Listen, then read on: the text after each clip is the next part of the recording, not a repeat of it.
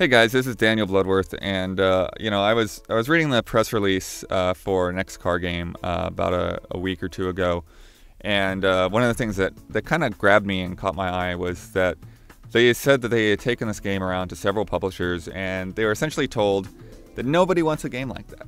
Nobody wants a game like you know they were making, you know, where you beat up cars and demolish cars, and and it just like it blows my mind to think that wait, we're we're not we're not getting this kind of game because publishers have decided that people only want licensed cars and not destruction or, or, or what? I mean this you know, this is the kind of game that I I've been kind of waiting a long time for since Burnout has kind of gone away and, and Criterion have just been doing Need for Speed stuff.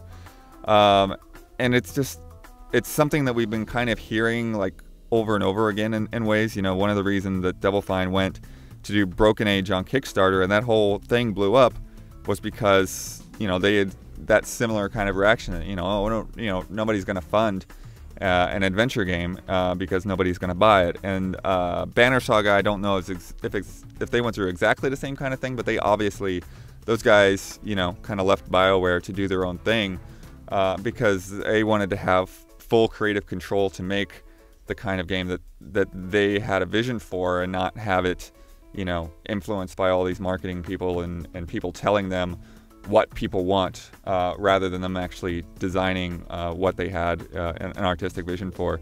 And I think that all three of these games kind of prove that whoever's in charge of making these decisions and making those reactions and greenlighting games is basically wrong. Uh, Next Car Game did over a million dollars in one week on pre-sales and early access on Steam. Banner Saga did seven times their their goal that they had originally budgeted. Uh, Broken Age did, you know, obviously that was, you know, that was the poster child for Kickstarter. They did th- like three million dollars, and you look at, uh, you know, a next car game's still too early to say. Uh, although the technology demo and the demo that they have out for pre-orders is really fun. Uh, but Broken Age and Banner Saga have for sure proven themselves to be excellent games. Uh, you know, with without a huge amount of uh, you know people working on them or, or, extra resources. And I think that publishers need to take a step back and look at this trend and say, you know what, there's better ways to do this. There's better ways to assess uh, what kind of games we can make. There's better ways to foster creative people and, and identify their visionaries in their group and allow them to kind of rise up and, and work on a smaller project. You know, you don't have to, you know, go out there and go hog wild on some crazy AAA thing with make you know with 700 people behind it or something. But you know, let people develop a vision and, and see where they can go with it. Uh, you know, and let people uh, kind of you know trust them more to to make something rather than just reacting to whatever's popular. Uh, and, I, and, I, think if you don't do that, you're just going to lose these people. These people, are, you know, are finding more and more ways uh, to be viable, uh, making independent studios and self-publishing.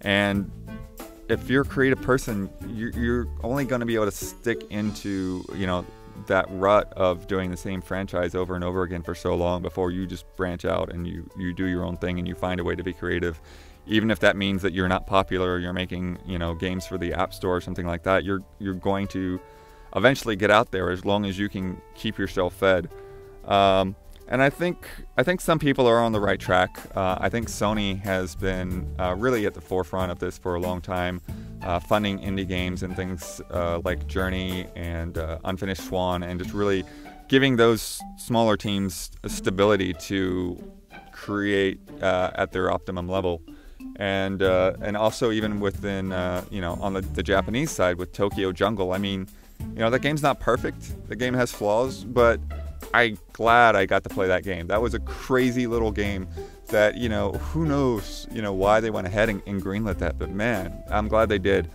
Uh, another good example I, I think of is, is stuff like Child of Light, and and that's just like a really smart way of of letting their developers, you know, have some creative freedom, and and you see that in it's just such a fresh take uh, on on that genre and uh, on art styles and and all of that. And I just think that there, there needs to be more courage in those respects. And and if you look at Child of Light too, you know, it's like, you know, it's it's it's a fifteen dollar game. You know, it's it's it's not you know, out there expecting people to to buy into a $60 experience. It's finding that right place for the market. Um, so I, I, hope that more publishers follow that lead. I hope that Ubisoft continues in that vein and uh, that we can have uh, more creative games coming out uh, from the bigger companies.